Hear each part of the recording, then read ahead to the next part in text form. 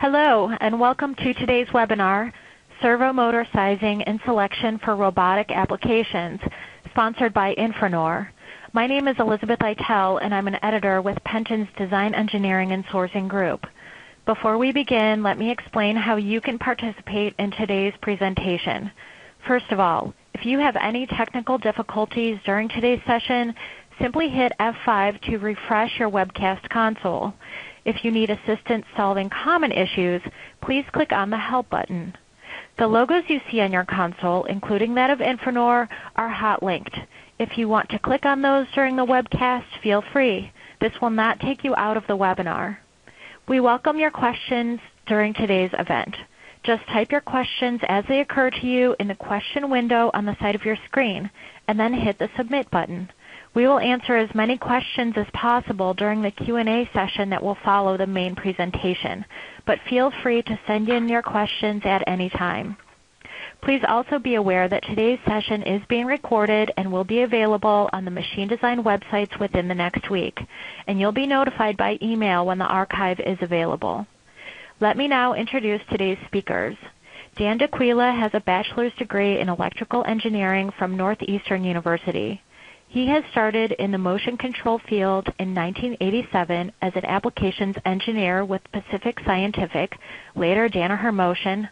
He went on to positions as field application engineer, field sales engineer, regional sales manager, application engineering manager, product marketing specialist, and program manager. He joined Infranor in 2007 and is currently the general manager. Robert Comstock has a bachelor's and master's degree in electrical engineering from MIT. Prior to entering the motion control field, he worked in the aerospace industry at General Dynamics, Raytheon, and the MIT Instrumentation Lab, later Draper Labs. Bob left Draper in 1980 to become engineering manager of IMEC Corporation to design drive electronics for brushless permanent magnet and induction motors. In addition to electronics design, Bob managed application support and worked with many customers to select motion control solutions for myriad applications. Currently, Bob is a consultant working with Infranor. Jack Curl holds a Bachelor of Science degree in electrical engineering from Worcester Polytechnic Institute. In 1990, Jack entered the motion control industry as an applications engineer for CMC Torque Systems. He moved on to Pacific Scientific in 1994 and later became Applications Engineering Manager. Jack went on to work at Elmo Motion Control in 2006 as a field automation engineer. In 2007, Jack came to Infranor and is currently a senior systems engineer. Now let me turn things over to our presenters. Dan, the floor is yours. Thank you, Elizabeth, and welcome everyone to Servo Sizing and Selection. In today's webinar, we are going to uh, we're going to try to demonstrate some pretty critical sizing topics, uh, and we're going to use an application, a two-axis robot application, to illustrate those topics. The first uh, axis we're going to look at is the traction drive axis, and that axis is going to convert rotary to linear motion, so that's the first topic we're going to cover. And we're going to select a gear reducer. When we do that, we'll take some time to discuss why we chose the gear ratio we chose and uh, evaluate that a, little bit more. The second axis is a uh, rotary uh, linear axis to linear axis also. It's a lift axis for the, uh, the for lifting the load. And um, so that in that axis, we're using a ball screw to convert the rotary to linear motion. Of course, we're lifting against gravity, so we're going to evaluate the effects of gravity. We're also going to talk a little bit about inertia matching and why that's important when we're sizing servo applications. We're not going to spend time talking about servo, servo performance necessarily, but just understanding why inertia matching is important. Of course, as in level 1 sizing, we're going to then calculate the peak torque, the continuous torque, and the speed requirements for the application because those are the three items you need to select a motor. Um, speaking of level 1, last year we did what we would consider servo level 1 sizing. That webinar is still available, and you the uh, links are, the URLs are listed here. So please feel free to download those webinars and view them later if you have any if any of the topics here are confusing to you. I also want to note that in this webinar, there there's a lot of calculations. We're not going to spend a lot of time reviewing the calculations. We did put them in a format that should be easy for you to find later and review, but we want to spend more time on the critical topics and discussions rather than going through the calculations. Now, for today's example, we're gonna, you know, there's many uh, examples of uh, autonomous robots moving around through warehouses and moving products through warehouses.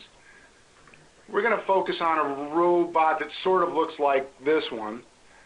And um, every time we do a sizing application, we're really looking at, we have to start with what the customer's needs are, and the customer really is the end user.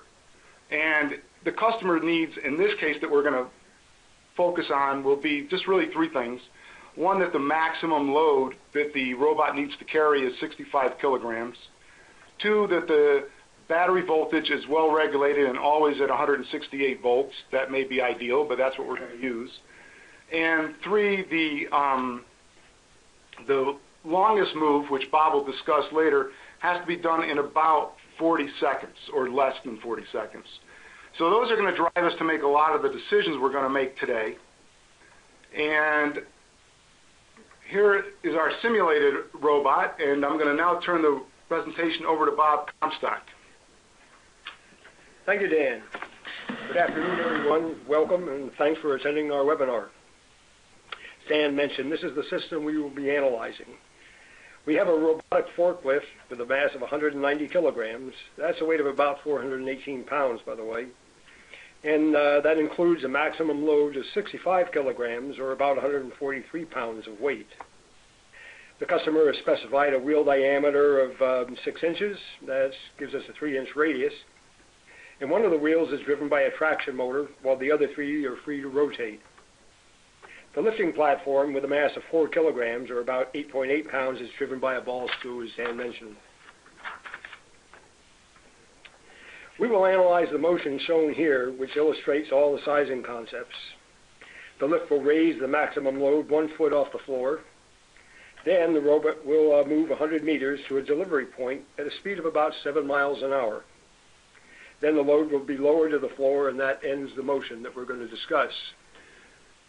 Obviously, in a real environment, the motions are going to be much more complex, Uh, this will really, uh, I think, uh, demonstrate all the key features of sizing that you have to consider in any application. The timing for the system is shown here. The load is lifted to position before the robot begins the 100-meter move. After the robot reaches the end position, the load is lowered to the ground. The time to lift the load is 1.8 seconds. The time to move the load 100 meters is 33 seconds, and the time to lower the load is again 1.8 seconds.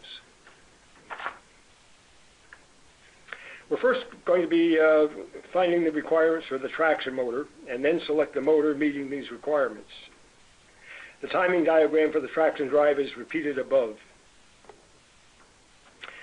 You should be familiar with the formula for finding the distance traveled, uh, because that was a subject in our previous seminar. The acceleration/deceleration rate is the um, change in velocity divided by the acceleration or deceleration time, uh, or 3.125 meters per second, the speed, divided by one second, which gives us an acceleration rate of 3.125 meters per second squared. We use this value of acceleration when computing the force required to accelerate the robot. This is the traction drive system.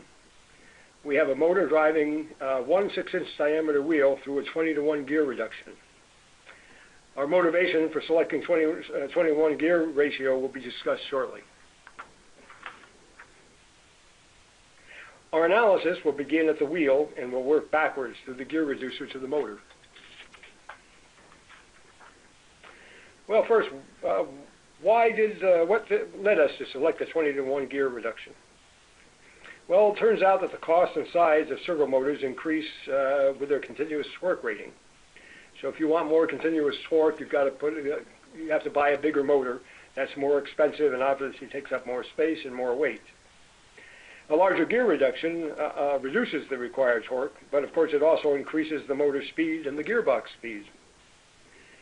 Fortunately, brushless servo motors are very well suited to high-speed operation, unlike brush motors that suffer from commutator arcing and accelerated brush wear at high speeds. Looking at a motor's torque speed curve, and we'll be doing that a little bit later, reveals uh, how fast the motor can run before there is a significant loss in torque. In our case, the limitation was the maximum recommended speed of the gearbox, which limited the ratio to 20 to 1. We will first determine the wheel torque required for the three different segments shown, an acceleration segment, a constant speed segment, and finally, the deceleration segment.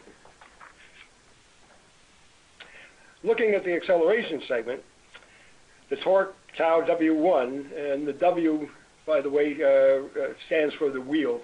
Uh, that's the torque being applied to the axis of the wheel. So the torque tau W1 required to accelerate the total mass of the robot. The torque tau W2 required to accelerate all four wheels of the robot.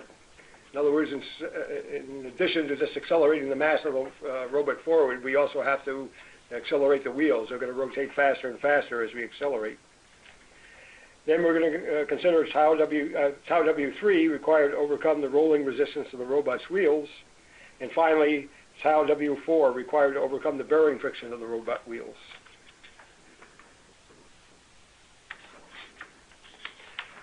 Jumping to the constant speed segment, where there is no acceleration, we include, again, tau W3 required to overcome the rolling resistance, and tau W4 required to overcome the bearing friction. Finally, during the deceleration segment, we include tau W1 required to decelerate the total mass of the robot, and tau W2 required to decelerate all four wheels of the robot. Note that during the acceleration, the rolling resistance and bearing friction actually reduce the motor requirements. They help us slow down the robot. However, to be conservative, we assume that they're zeroed in this segment, because otherwise we'd have to uh, pick some minimum number that uh, we were sure they wouldn't be um, uh, below. And it has very little effect, as it turns out, on selection of the motor, because the peak torque requirement actually occurs during the acceleration segment, and time duration of the deceleration is very small compared to the total cycle, so it has very little uh, effect on the continuous torque. Okay. first, uh, Our first um, rotary to linear conversion is the wheel, as Dan mentioned. It converts torque applied to the axle to a force applied to the mass of the robot. You can see the diagram. From the diagram, we see that torque applied to the wheel's axle generates a force uh, where the wheel makes contact to the floor. You can see as you step on the gas in your car, the uh, torque makes the wheel rotate. The wheel is pushing against the road, and that produces a reaction force transmitted to the load via the axle bearing, and that's just the case we have here with our robot. Remembering that torque equals uh, the radius of the wheel times a force, and we know that just by thinking about a wrench. We know if we apply one foot of force uh, one foot away from the uh, uh, center point of a wrench, we get one foot-pound of torque. We can calculate the relationship between torque applied to the wheel's axle to the force applied to the robot. As we recommended in the earlier seminar, we'll be using metric units, and we strongly recommend that you use metric units also. You could look at our earlier seminar to see all the reasons we recommend that. Well, we're going to use metric, so we have to convert three inches to meters, and uh, that works out to be 0.0762 meters. We can substitute into that, into our equation for torque and find that the torque in newton meters is 0.0762 times the force applied to the uh, robot.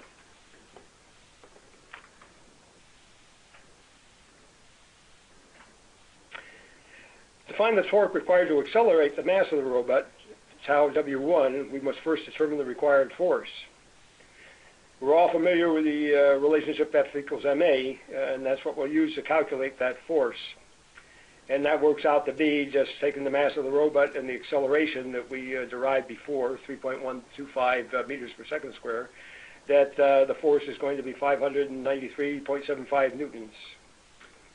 And now I want to point out that we show the calculation in a worksheet table, with the columns of the table correspond to the equations above the table. Just looking at that top table for a minute, we have our equation F equals ma with the appropriate units. Underneath, you can see force, mass, and acceleration, and it's very easy for you to just go through, uh, use that equation and see how we derive the force in newtons.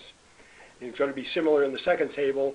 From now on, I'm not going to go through the table or the calculations in detail because I think you can see that's very easy to do, very time-consuming to describe, and um, it would actually be a good exercise if you want to go back and check our numbers to just look at the tables and see where we got the numbers. I think we've made it very clear. The second equation and table use the relationship between torque and force found in the previous slide to calculate the torque, tau uh, W1, required to produce the required uh, force. We have that tau W1 equals 45.24 newton meters. We now calculate the torque, tau W2, required to accelerate the wheels. We use the relationship torque in newton meters equals the inertia of the wheels, and it's actually all four wheels in this case, which we have to accelerate all four of them. Uh, inertia in kilogram meter squares times the angular acceleration, d omega dt, in radians per second square. d omega dt is sometimes referred to as alpha. You may be more familiar with that term. So we have the inertia of all four wheels is uh, 0.0148 kilogram meters squared. And again, that was based on the manufacturer's data. The angular acceleration of the wheels, d omega dt, or alpha, is equal to the linear acceleration in meters per second squared divided by the radius.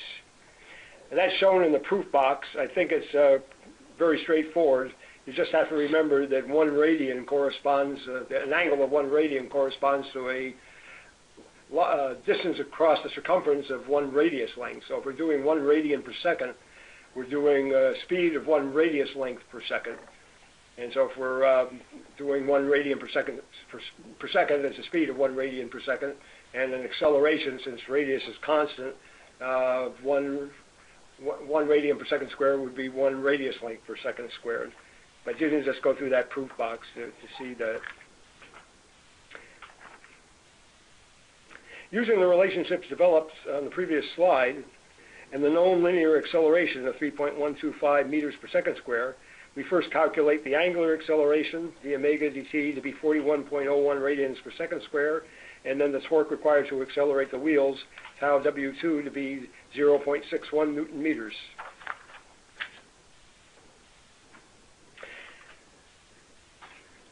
Uh, rolling resistance is the torque required to overcome losses in the tires. As the wheel uh, rotates, the tire deforms as the section in contact with the floor flattens. In pneumatic tires, the rolling resistance increases as the tire pressure decreases since there is more deformation.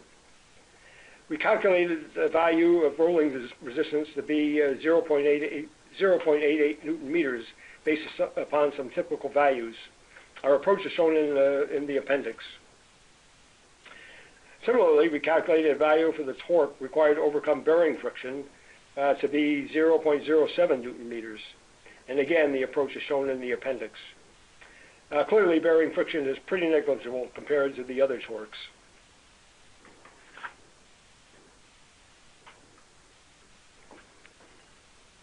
Well, we can now add up the torques for each of the segments to find the total wheel torques. We have, during the acceleration uh, segment, tau W, that's the sum of all the torques, total wheel torque, is 46.81 newton meters. During the constant speed segment, tau W equals 0.95 newton meters. And during the deceleration segment, tau W equals 45.85 uh, newton meters.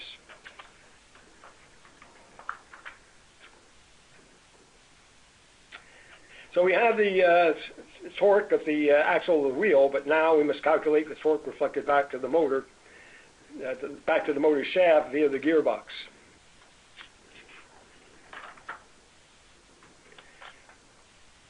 To uh, calculate tau S, or the torque um, reflected back to the motor shaft, we first divide the drive wheel torque by the gear reduction. We know that a 20-to-1 gear reduction should reduce the input torque by a factor of 20. However, there is some inefficiency that must be accounted for. So we then divide our result by an efficiency factor. Then we must add in two terms, one being the torque required to accelerate the gearbox itself, and the other a friction torque associated with the gearbox. We have that the gear reduction is 20 to 1, the efficiency is 90%, or 0.9, the gearbox inertia is 2.71 uh, times 10 to the minus fifth kilogram meter squared. The gearbox friction torque is 0.15 newton meters. And then we, obviously we have to take into account that the um, uh, motor speed is going to be 20 times the wheel speed. And also the uh, gearbox speed will be 20 times the uh, wheel speed. Calculating the resulting motor shaft torque is shown in the table we have. During the acceleration segment, tau s equals 2.82 newton meters. That's going to be our peak torque. That's higher than any of the others. Constant, during the constant speed segment, the torque is only 0.25. That's just rolling resistance and bearing, bearing friction. And uh, during the deceleration segment, 2.57 newton meters.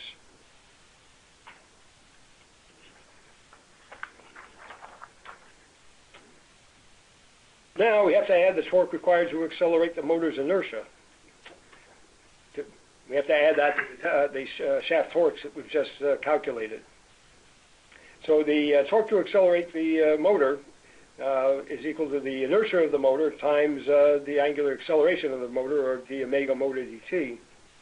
But at this point, we don't know what the motor inertia is because we haven't selected a motor.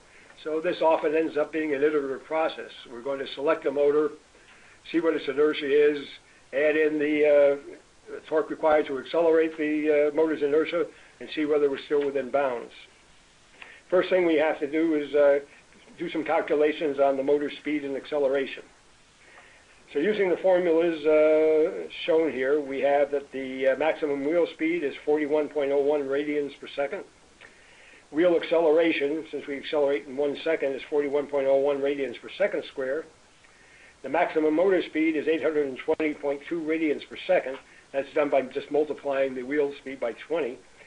And 820.2 radians per second works out to be 7,832 RPM, which is a critical number because we have to uh, look at our motor torque speed curve to see just how much torque, both peak and continuous, the motor has at that speed.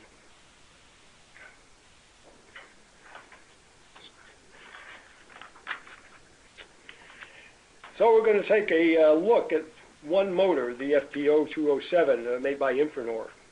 Looking at the torque speed curve, we see that the motor has much higher peak torque capability. It's uh, 7,832 RPM than the 2.82 that we've calculated so far for the shaft torque.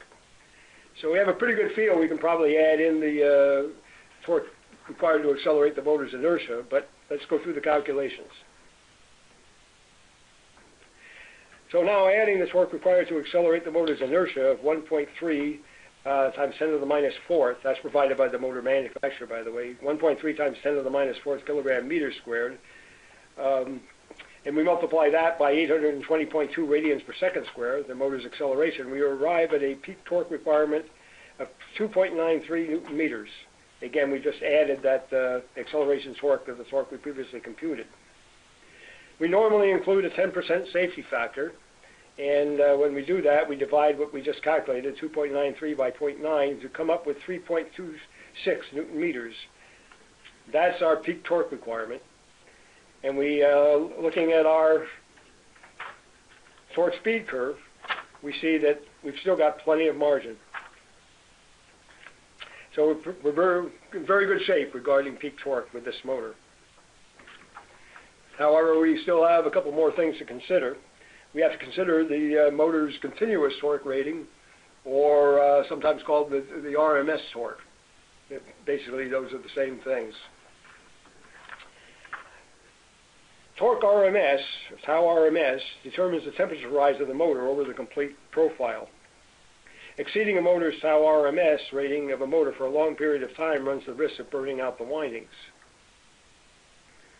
As described in the previous webinar, tau RMS is equal to the following. It's the square root of the sum of each of the individual torque squared, the torque for each segment, the acceleration, the constant speed, uh, and the deceleration, each one squared and multiplied by the duration of that segment, and then divided by the total length of the segment.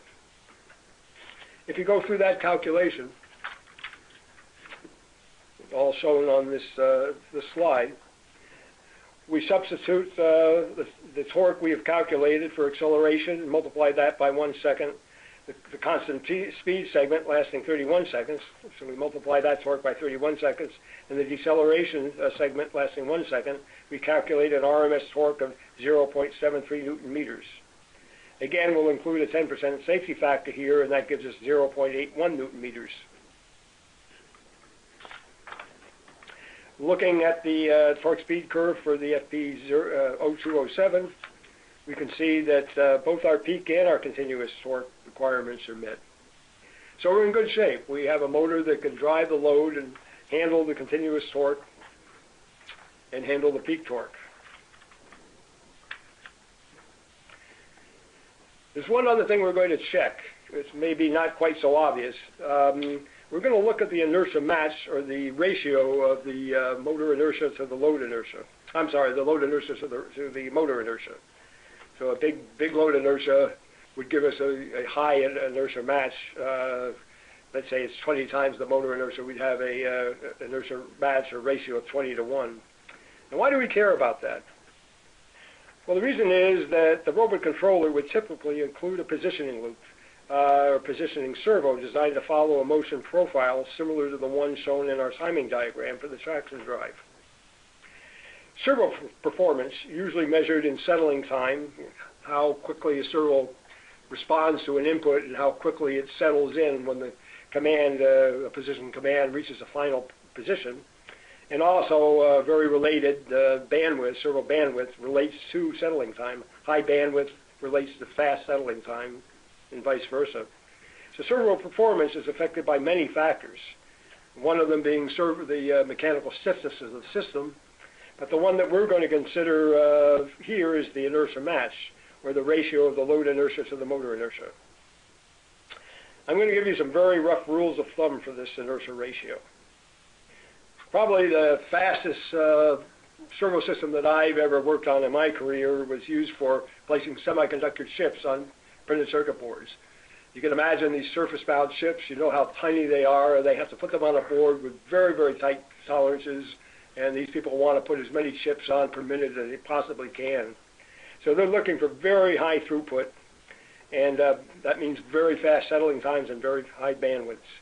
So in those applications, they're usually looking at a uh, inertia match or the ratio of the inertial load to the uh, inertia of the motor of 1 to 2 typically and they achieve settling times of a few milliseconds and velocity loop bandwidths of maybe 100 to 200 hertz, and sometimes even higher. Less demanding applications will allow a slower response time and lower bandwidth, with response time increasing with the uh, inertia match. Now we're looking at a traction drive application, and uh, we're going to show some analysis in a minute that will indicate that we can live with much lower bandwidths. Something as low as maybe 5 to 10 uh, hertz bandwidth, and um, inertia uh, matches of maybe 30 or possibly even a little bit higher than that. This is a plot of a typical position loop's response for three different bandwidths, 5 hertz, 10 hertz, and 20 hertz. First, the red section of the uh, plot is the velocity profile, the commanded velocity profile. That isn't the profile that the servo actually achieves, it's what is commanded uh, by some sort of a motion control, probably a computer inside the uh, robot's control uh, section. You can see that it accelerates at exactly the rate that uh, we want our traction motor to accelerate at 3.125 meters per second squared. It reaches 3.125 meters per second in one second. In, this case, it's going to run for just one second at 3.125 meters per second. That was just to keep the plot on the page so I can show you all the details here. Uh, but that really makes no difference in terms of our final settling times, the things we're really interested in here. And then it will decelerate at the same rate that uh, our traction motor is going to decelerate at, or our robot is going to decelerate at. So it's very similar to our, um, uh, our application. Next, the uh, commanded position, which is the uh, curve on the left of the sort of S-shaped curves, um, that is the input to our position servo, and, and uh, corresponding exactly to the velocity profile. Again, that would be generated by a computer that would be effectively integrating the velocity profile to generate the position profile, and it would uh, output that profile to a position loop.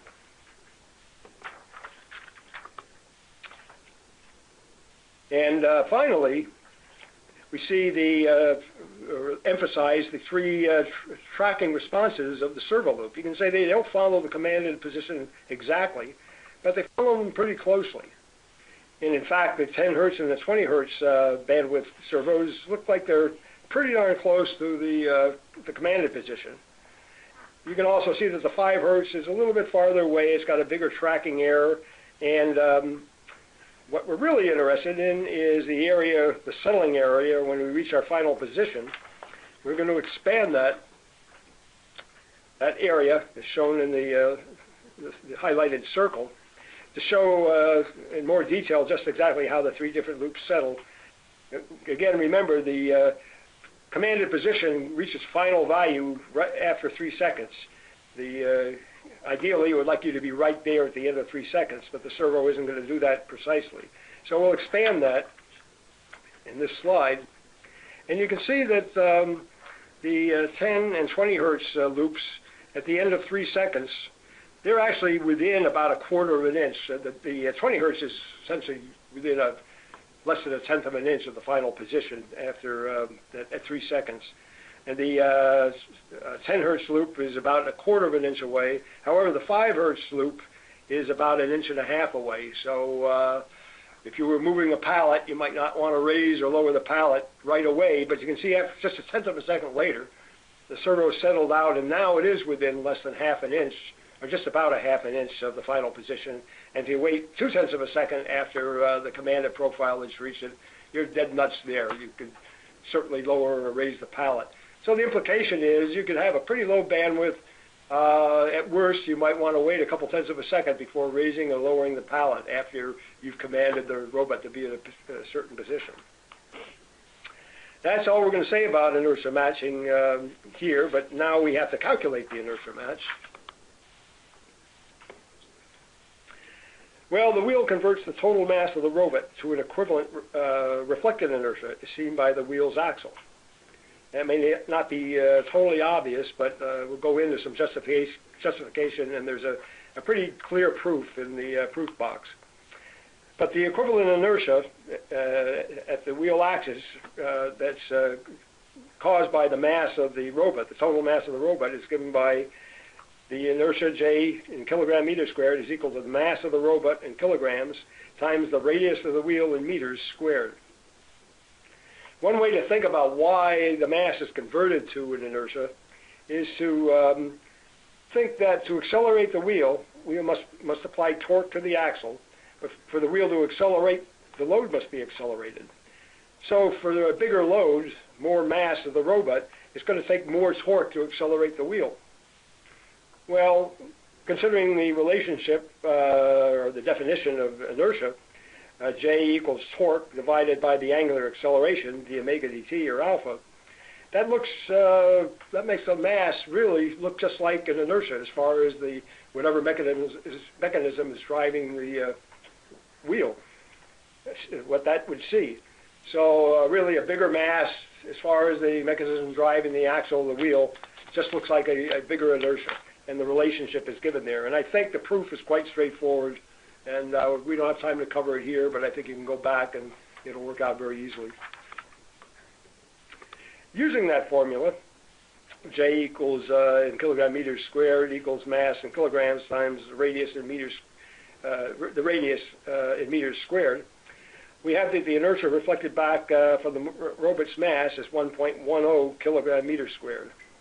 We have to add the inertia of all four wheels, and that's because uh, the mass, the inertia we calculated before, is really just the uh, effect of accelerating linearly the total mass of the robot. It does not include accelerating rotationally the wheel, so we have to add the uh, wheel inertia in, and that gives us a total inertia of 1.11 kilogram meter squared. That's the total uh, inertia reflected back to the gearbox, which is driving the axle of the wheel. So we have one more step. Now, how is that inertia, the 1.11 kilogram meter squared that we just calculated, how is that reflected back through the gearbox to the motor? For a gearbox with an N-to-1 reduction, the inertia reflected to the input of the gearbox from an inertia connected to the output is given by inertia in equals inertia out divided by N squared. So a 20-to-1 gear reduction will give you a 400 uh, to 1 reduction in the reflected inertia. Again, I'm not going to go into the proof in detail. It's straightforward, and it's in the uh, highlighted proof box uh, on the slide. So using inertia in, uh, the input of the gearbox to the load inertia divided by the gearbox gear reduction ratio, N squared, we have that the inertia reflected back to the input of the gearbox or reflected back to the motor is 27.75 times 10 to the minus fourth kilogram meters squared. Now we have to add the inertia of the gearbox, and we get a total inertia reflected back to the motor of uh, 28.02 times 10 to the minus fourth kilogram meters squared. So that gives us an inertia ratio of 21.6 to 1. So we're nowhere near the 1 to 2 that we require for uh, putting some semiconductors on a PC board, it looks like we're plenty good enough for a traction motor. So we feel that that motor is plenty good for this application. Okay, we've got a motor uh, that we're happy with for the traction drive. Now on to the lift drive. Summarizing, the lift platform and load have a total mass of 69 kilograms. The lift is driven by a ball screw. Selection of the ball screw's pitch of 5 millimeters uh, per rev will be just discussed shortly. And the inertia and friction of the selected ball screw is provided by the manufacturer and are shown in the diagram. Repeating the uh, uh, oh, timing diagram for the lift system, we note that the peak lift speed is 10 inches per second, and that the uh, change in speed is accomplished in 0.6 seconds. So our acceleration is going to be the 10 inches per second divided by 0.6.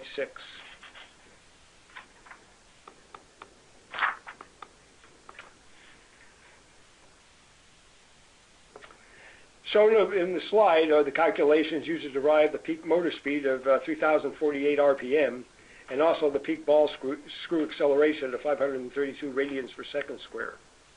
Again, the calculations are straightforward, and um, I don't think you'll have any trouble following the calculations. The key numbers are the motor RPM and the motor's acceleration, and uh, ball screw and motor acceleration, because again, I should have mentioned the ball screw is directly driven by the uh, motor in this case. There is no gear reduction.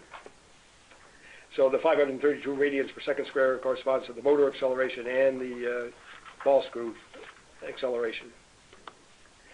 Well, we have another form of um, rotary to linear conversion. The ball screw converts the motor's rotation to linear motion of the platform and load, and the motor's torque to force applied to the platform and load. The relationship between motor torque and force applied to the load by the ball screw is given by torque in newton meters is equal to the pitch of the lead screw in meters per rev divided by 2 pi. That quantity all multiplied by the uh, force that we apply to the load. In this case, the load is the uh, platform and the uh, uh and the load on top of the platform. Deriving this relationship utilizes the energy Uh, conservation concept, power in equals power out, rotary power in uh, is equal to tau times omega, and linear power out is equal to force times velocity. And uh, that is used at the start of the proof in the uh, highlighted box. I won't go into it in detail, but again, I think it's very straightforward to follow it.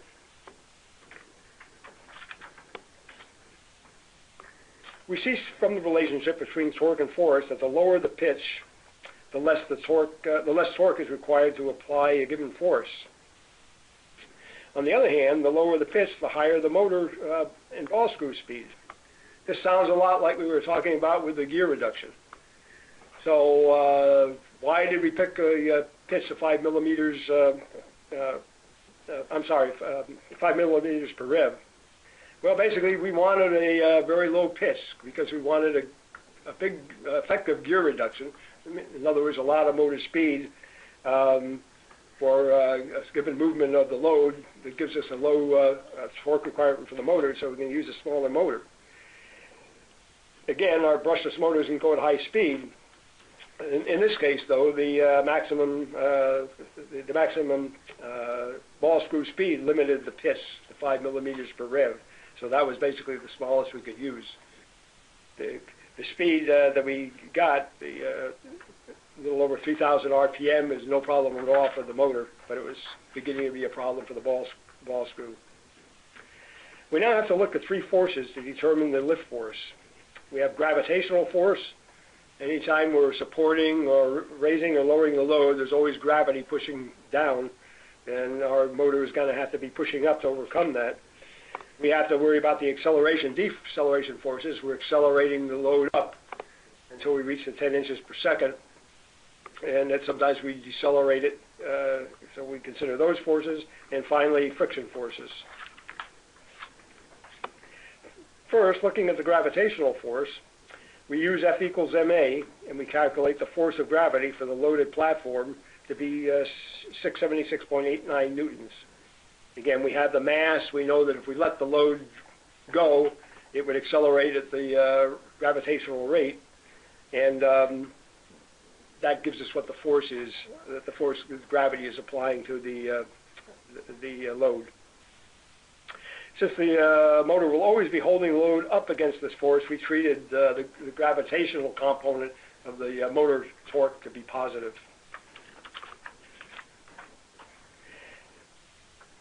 Now we calculate the acceleration forces during each segment of the lift cycle. Note here that we must be careful of the signs when analyzing the lift system because in some cases, gravity will work with us. In some cases, will be working against us. We first calculate the load acceleration in the top table. We just use acceleration is equal to end speed minus start speed divided by the duration, change in speed over change in time, and the calculations are in the table there. Then in the lower table, we make use of the um, F equals ma and calculate what the force is for each of the segments in the lift cycle. In the next slide, we do exactly the same thing for the drop cycle.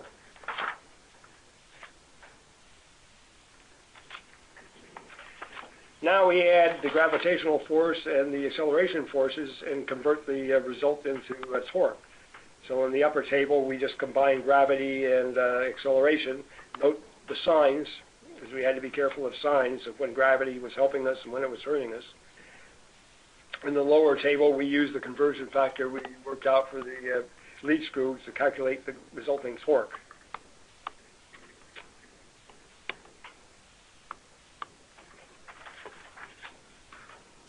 And again, similar calculations are shown for the drop cycle.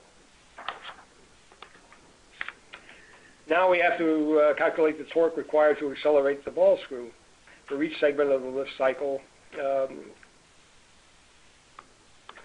well, we have to, we have to, I'm sorry, we have to calculate the torque required to accelerate the ball screw. On uh, this uh, slide, we do that for the lift cycle.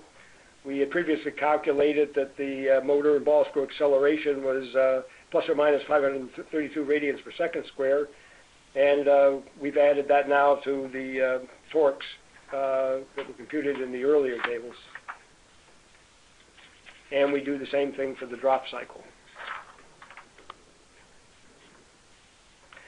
Finally, we have to include ball screw efficiency and friction torques to find the required uh, motor shaft torque for the lift cycle. To be conservative, we didn't include the inefficiency and friction in the drop cycle since energy is always being taken out of the load, so we can use the values previously calculated for the drop cycle. We see that the peak torque requirement occurs during the lift cycle and is 0.83 newton meters.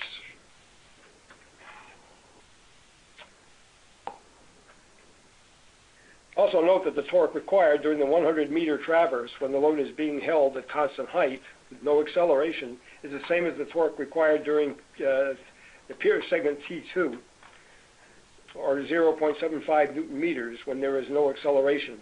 T2 was the constant speed segment in the uh, uh, lift cycle.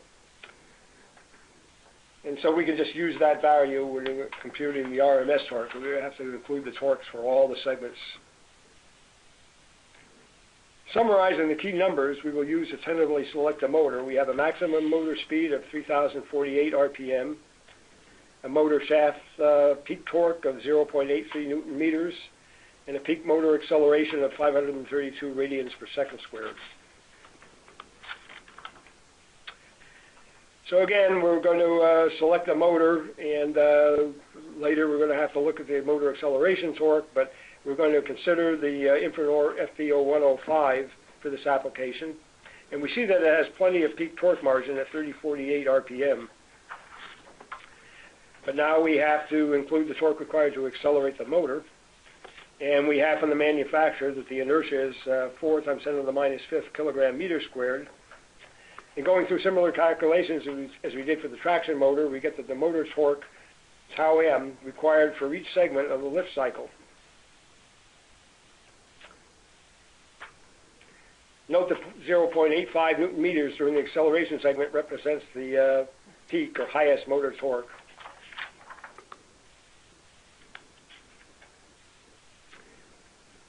And doing a similar thing for the drop cycle. We don't have any uh, torques that are as high as the uh, acceleration cycle, but we will have to include those when we work out the uh, continuous or RMS torque.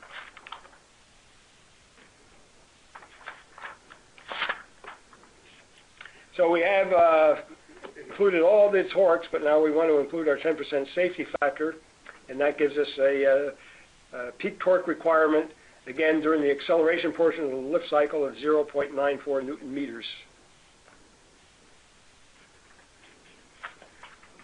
Looking at the uh, torque speed curve, we can see that we're well within range of the uh, peak torque. The peak torque capability of the motor, that's the blue curve. So we're uh, way below that. No problem with the peak torque. But we still have to calculate the RMS torque, and we do that in exactly the same manner we did uh, in the uh, case of the traction motor, and get a uh, tau RMS is equal to 0.74 newton meters.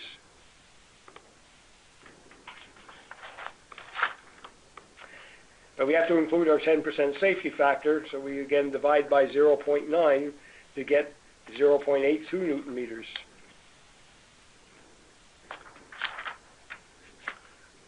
Looking at the torque speed curve, we can see that we're not way below the continuous torque, but we've included our 10% safety factor, and we are below the continuous torque rating. So we feel we're okay because, again, we put in our 10% uh, safety factor. And again, we haven't made use of the fact that friction and uh, um, inefficiencies actually reduce the motor torque during the uh, when we're lowering the load.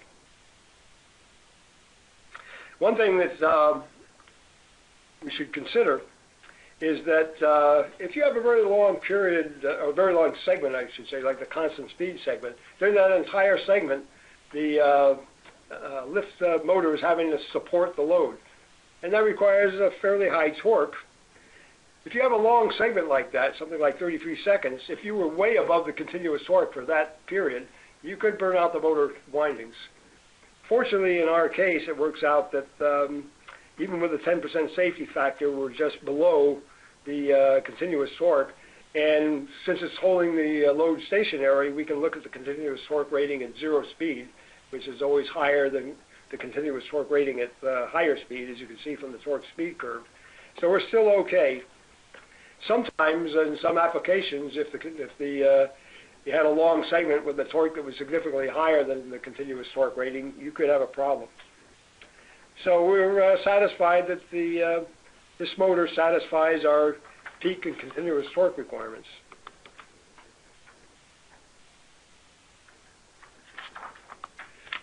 The one last thing that we have to calculate is the uh, inertia match. Again, just thinking about uh, servo performance. Well, the mass driven by the ball screw is converted to an equivalent reflected inertia at the input to the screw. and it's given by the reflected inertia. It was the inertia that the motor driving the screw sees is equal to the pitch of the ball screw divided by 2 pi, all squared, times the load in kilograms. And that's the pitch in meters per rev. The proof makes use of the definition of inertia. Uh, that the inertia in kilogram meter squared is equal to the torque divided by torque in newton meters divided by the angular acceleration d omega dt in radians per second, uh, radians per second squared. I'm sorry, and it's presented in the shaded box. Again, it's relatively straightforward to follow, and in the interest of time, we won't go through it. But using this relationship, and substituting uh, our load and pitch, we find that the uh, load is uh, the, the J reflected back to the motor, J load, is equal to 4.37 times 10 to the minus fifth. But we have to add the inertia of the lead screw, and that gives us the total inertia re reflected back to the motor of 1.44 times uh, 10 to the minus fourth. So the inertia of the uh, motor that we've selected, the FPO 105, is 4 times 10 to the minus fifth, so we can now calculate the inertia match, which works out to be 3.6 to 1 ratio of the load inertia to the uh, motor inertia. So that's good. That's we could uh, have a really fast settling time on our our lift motor, even though we probably don't need one. But our real consideration was the uh, meeting the peak and continuous torque requirements.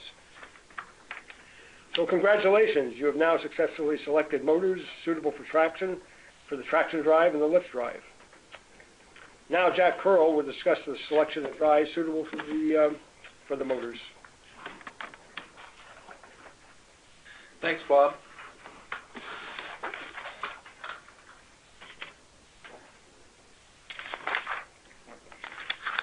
Pardon me.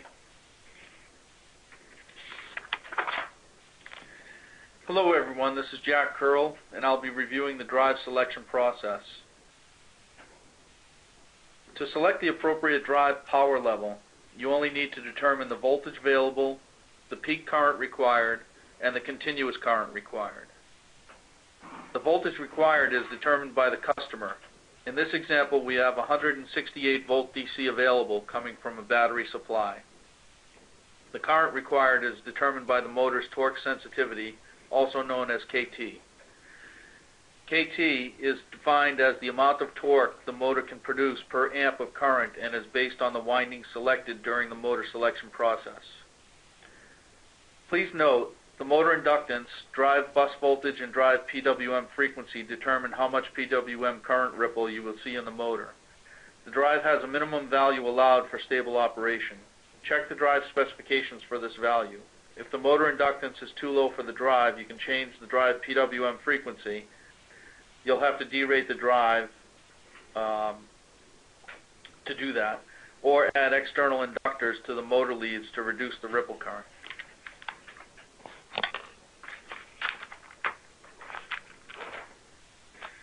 Since current in amps RMS is equal to torque in newton meters divided by the motor's KT in, in newton meters per amps RMS, and since the traction motor KT is 0.16 newton meters per amp RMS, then we need a peak rated current of 2.93 divided by 0.16 or 18.3 amps RMS. And we need a continuous current of 0.81 divided by 0.16 or 5.1 amps RMS. So we need a drive that can supply at least 18.3 amps peak and 5.1 amps continuous we chose a PAC AK400/20 to do the job with 20 amps peak and 10 amps continuous. The motor inductance is 0.2 millihenry and is below the drive specification for standard PWM frequency um, as minimum inductance. To accommodate for the low inductance, we needed to increase the PWM frequency and reduce the drive rated continuous current. So 10 amps RMS is reduced to 7 amps RMS continuous, and even with this derating, there's plenty of current available. Looking at the torque speed curve, the red and violet dotted lines represent the motor and drive system limits. Notice we could select a higher power drive to get more power out of this same motor, although that would increase the drive weight, size, and cost. Using the same process for the lift drive, this time the KT is 0.29 newton meters per amp RMS. So the required current is 3.24 amps RMS peak and 2.86 amps RMS continuous. So we need a drive that can supply at least 3.24 amps peak and 2.86 amps continuous.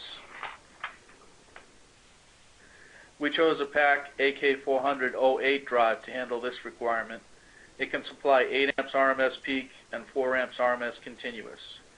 This drive can handle 1.3 millihenry at the normal PWM frequency, so no derating is required. Note there are other criteria to selecting a drive, such as field bus compatibility, STO requirements, feedback options, and more. You can contact the manufacturer for assistance. For more details on selecting a drive, please see the appendix on drive selection. Thank you for attending, and please stay online for Q&A. All right. A few of you have already submitted questions, so we're going to jump right in. While our presenters are answering your questions, please take a moment to answer the feedback form that will appear on your screen. If you have pop-up blocker, we ask that you disable it so that you can receive that form. So first question. Um, the thermistor properly connected should protect the motor, correct? But the position loop will go open loop. So that that's um, a question about the motor PTC or NTC, whichever is used in the motor. Uh, this is Jack Curl. I can take that question. Um, the PTC has a um, a sensor in it to measure the temperature of the motor. And so if the current of the motor is above the motor's current rating for a certain amount of time, the motor will heat up and the PTC is used to protect against the motor overheating. But the motor um, winding has a, a fairly long thermal time constant. And if you are excessively putting in current, into the motor for a longer period of time, the PTC may not react to that quick enough to protect the motor.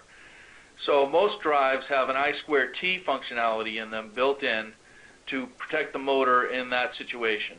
Where there's a lot of peak current. Where there's a lot of peak current um, for a long period of time. Okay. And what if the traction gear reduction was done with belts instead of a gearbox?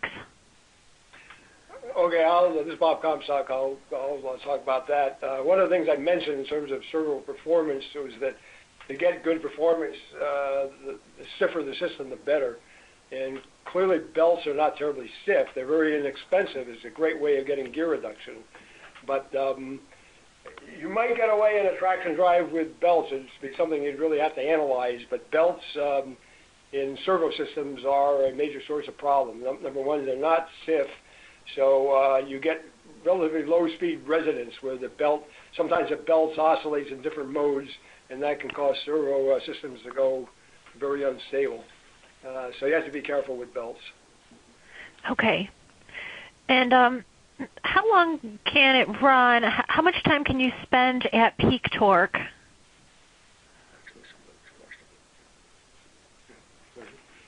Yeah, that's a good question. Um, it's a complicated question in that, uh, let's say that you were running at continuous torque for a long period of time, where your motor is already pretty hot.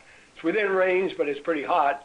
Um, now, if you put peak in, it's going to uh, the winding is going to heat up quite quickly, uh, since they're already probably pretty close to their limit, you wouldn't want to be there very long at all. The general rule of thumb uh, is you don't want to run at peak for more than uh, a few seconds.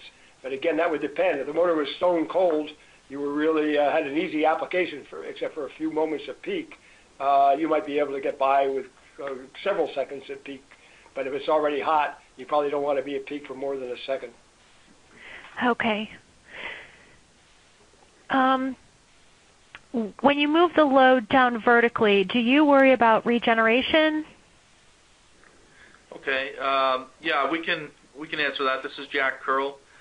Um, normally, you would consider regeneration um, for higher speed applications, like the one we have is 8,000 RPM for the traction drive.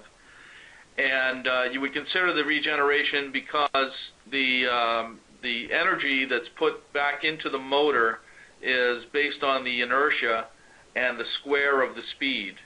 And so the higher speed uh, applications make more energy by the square of the ratio of the speed. And so you would worry about that in a normal application that um, the energy going into the motor would have to go back into the drive as well, and that energy would pump up the bus voltage until you get an over voltage fault in the drive, unless you have a regen resistor system in the drive. Uh, and sizing the regen resistor uh, is something the factory can help you do uh, based on the energy that's calculated into the system.